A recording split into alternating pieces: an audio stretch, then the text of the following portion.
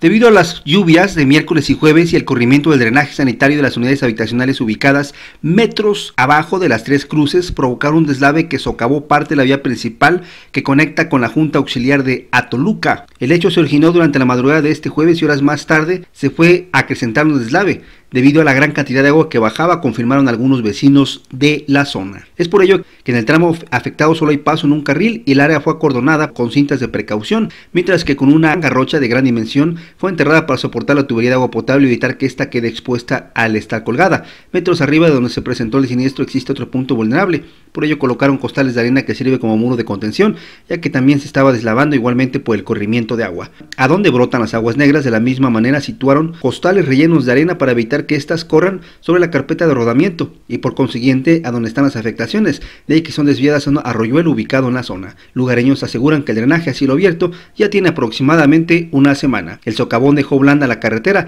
pues está hueco parte del pavimento, aunque este está completo pero sí se llevó parte de la cuneta y levemente deterioró el muro de contención, ya que hasta ese punto llegaba el mismo. De todo lo anterior ya tomó nota y actuó protección civil, mientras que el sistema operador de los servicios de agua potable y alcantarillado de Teciutlán, Sosapats, en el caso del drenaje roto, no ha hecho nada. Interacción Noticias, Fausto Hernández.